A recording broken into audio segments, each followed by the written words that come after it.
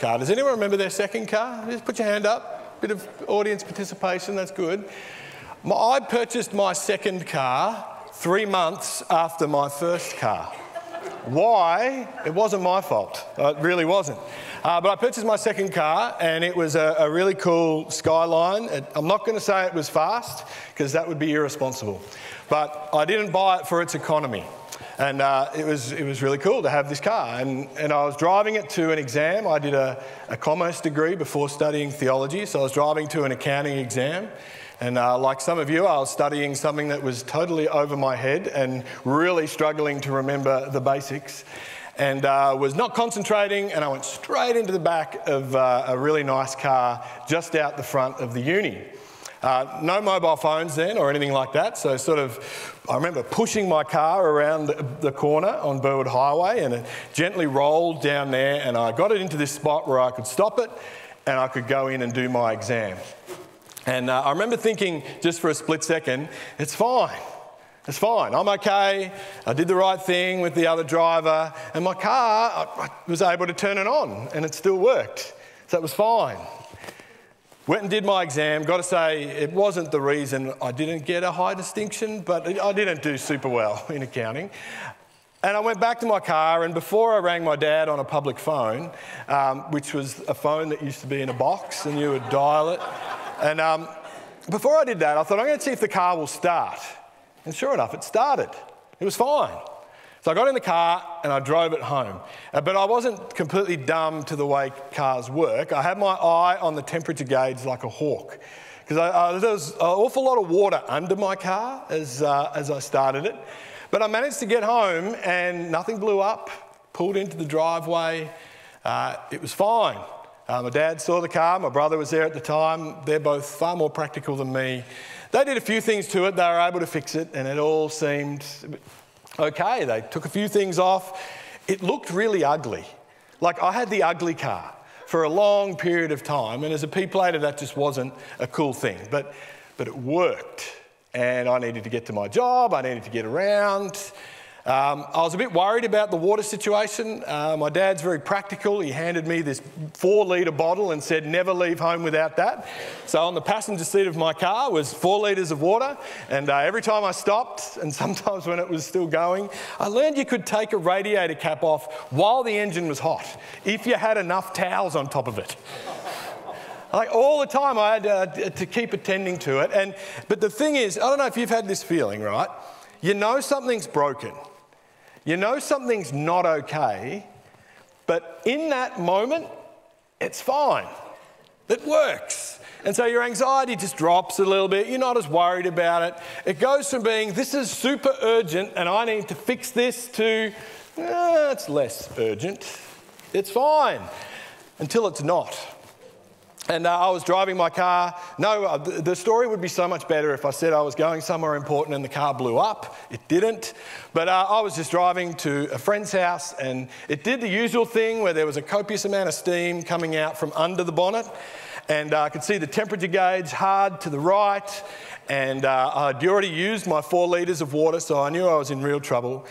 I'd already used up, there was this stuff you could tip into the radiator, which would like quasi seal it and make it just a fine for a little bit longer, and nothing worked. And I had to get the car towed, fix the radiator, and then eventually uh, got it all done properly. It was all fine until it wasn't. Even though I knew it was kind of inevitable, even though life is just a bit like that, isn't it? You know it's not always going to be fine. Uh, when it wasn't, I remember all of a sudden I was worried. I was a student, didn't have much cash. I had to get places. I'm like, how am I going to get to work? How am I going to do this? And all of a sudden, when it wasn't, all these other worries came. Now, the car got fixed. I was able to borrow other cars. I found a workaround for it, like most of us do. And again, that real problem kind of didn't seem as bad as it was. But when it wasn't fine, it was really bad. This series from Daniel, this week and next Sunday, we're going to be in Daniel chapter 4. Today is a preview, really, to next week. The stories we've had this morning have given us a taste of some of this idea of God being present with us when things aren't fine. Because at the start of this story, everything's going great for the king we've been reading about. It actually says he was living in comfort and prosperity. It's kind of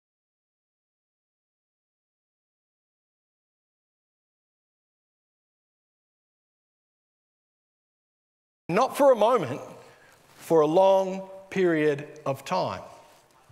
We hear it's kind of like the king, his name's Nebuchadnezzar, takes the pen off Daniel, who's been writing most of the story, and writes this bit himself. You even get that taste from the start of it. It's like, all right, you lot, I'm having my turn now. Daniel's had a turn, uh, and it's like the king is saying, My turn, I'm going to tell you. I'm going to tell you how good God is. It's a bit strange because we're not sure, we're not told that, you know, a massive conversion has taken place or anything like that. But this king has come to know some of the things we've talked about this morning the goodness, the power, and the presence of God.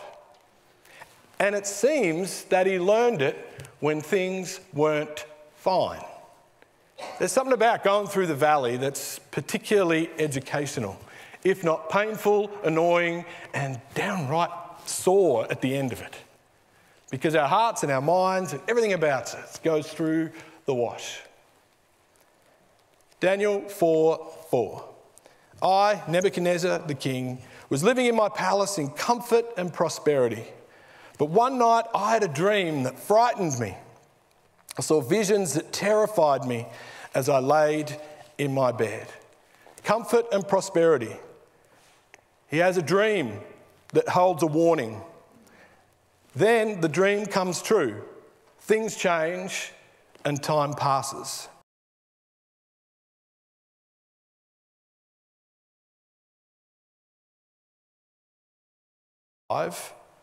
The king says this After this time, the time that he had dreamed about, the time that had terrified him when he saw it in the looking glass, after this time had passed, I looked up to heaven.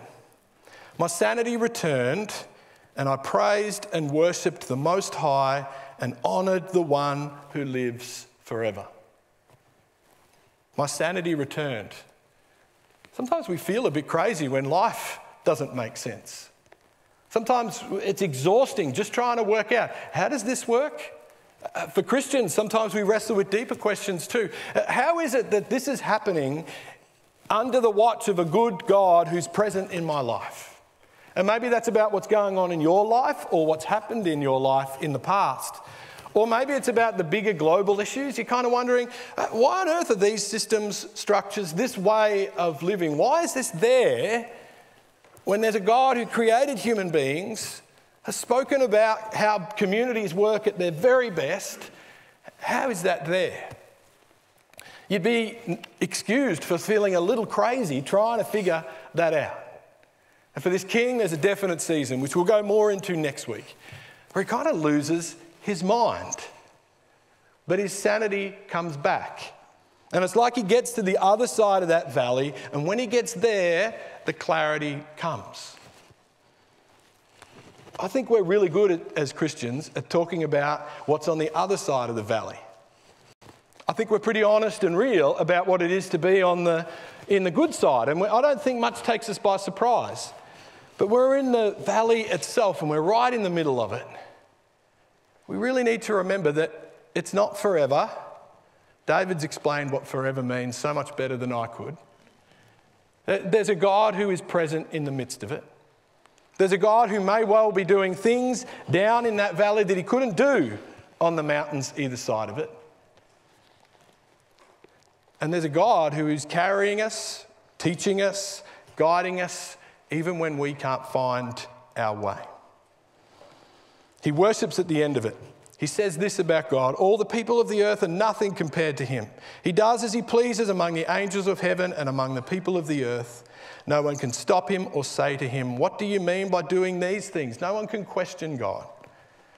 When my sanity returned to me, the king says, So did my honor and glory and kingdom. He says this of God to close Daniel chapter 4 All God's acts are just and true, but he is also able to humble the proud. Pride is one of those things that just seeps into our life. It's not, hey, I'm amazing, I'm going to puff out my chest and tell you how good I am. It's that subtle sense of, I've got my life in control. I've got the people in my life in control. And whatever happens in my life is because of what I do. The king committed one sin that led to his suffering in this story, and it was that. He thought his life revolved around him. And that the kingdom he had was because he had created it. That the goodness he enjoyed was because he'd lived a good life, and, and that was the response. And the journey that he goes on is a journey of humility, a journey to say, hey, don't forget, Jesus hasn't said this yet, but God opposes the proud and gives grace to the humble. Jesus said, apart from me, you can do nothing. Proverbs had warned, he probably would have known of this. King Solomon saying, Pride comes before a fall. And so there's this sense of us needing to be so careful about thinking that our world is about us and what we do and, and everything that comes from there. Most of us are humbled in all sorts of different ways. This king needed to experience this. What do we take from here today in a preview to something much bigger and deeper? We take this sense of is my life just about me, or do I truly believe there is a God above my life who is a part of my life, who lives in me, who calls me to be someone who is a part of something great, something bigger than just me? Because if we hold on to that and we remember that, when we're in the worst part of the valley, when things aren't fine, we know that it's not the end, there's a way forward, and one who is with us to take us there. We all sin, and all sin is equal. And the great news of the gospel is that Jesus Christ at the cross dealt with all sin. And so we're set free. His grace enables us to come out on the other side. But we are fully reliant on that grace, as we've heard testified to this morning. So sometimes life is fine until it isn't. Sometimes we find a way to make it work, we find a way to keep it going, we put another band aid on it, we medicate the pain, we do something that takes away the worry, the anxiety, and what it is that makes it come into our face. There's always something deeper that God is teaching, doing, and leading us towards. That's what we hold on to when things aren't fine anymore. That a big God still has life in his hands. Let's pray together. Jesus, we have heard this morning testimony of your, your goodness. Our prayer is that as we look upon the cross and the gift of grace and salvation to us, as we think about times in our life where things have been fine and reflect on times where they are, were, or might not be, we are grateful for those promises we heard at the start of today. Jesus, you said to us, You will be with us always. Forgive us for forgetting that. Forgive us for not owning that and holding on to that. And help us to be that, to be the presence of God in the lives of others. In Jesus' name, amen.